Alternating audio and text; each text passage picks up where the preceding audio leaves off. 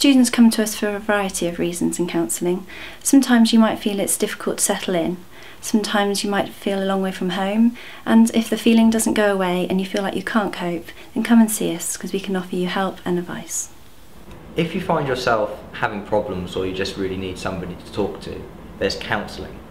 Counselling is really just a service which is free, where you'll just talk about whatever you want to talk about, and there's somebody there to listen to you. It's completely confidential. There's no demands upon you at all. It's just there for you when you need it. There's any number of reasons why a student might go and see a counsellor. You haven't talked to your flatmates and you're feeling isolated or you're not feeling very in any group and just feeling down or anything like that, or say a bereavement in the family. Counselling is really there for everybody, whether you've just found yourself feeling a little bit lower than you usually do and you want to build yourself up again, or if you're experiencing real worries, real problems, which you really want somebody there to support you with. It's there for everybody, so don't let things spiral out of control. It's there for you.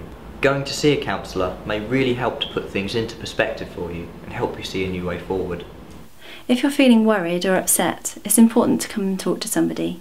You may have suffered a relationship breakup or a loss, or just feeling confused and lost and you don't know why. When you're studying the arts, you could be pouring your heart and soul into the work that you're creating.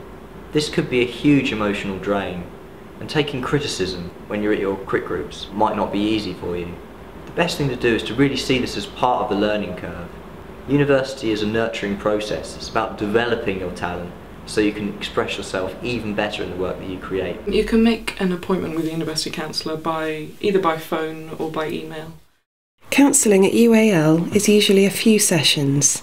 You can book an appointment by completing the online appointment request form by email or by phone.